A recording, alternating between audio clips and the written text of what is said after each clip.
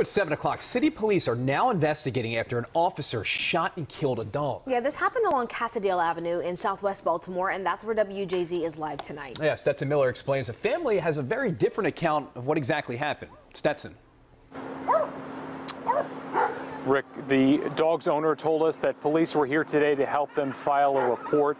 But as you said, there are conflicting stories from police and the dog owner about what might have happened here today before the dog was shot and killed. The owner told us that when the officer came to her home today, she told the officer to stay outside of her fenced in front yard while she went to get her dog in the backyard.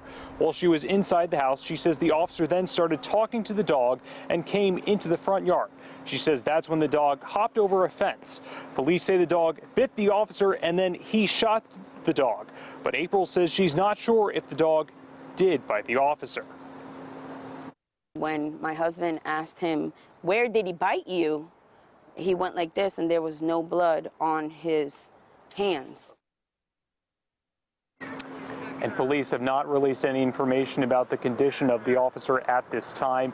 The owner says she would like to see if there is body camera video from the officer to clarify what happened here today. Live in Morrell Park, Stetson Miller for WJZ.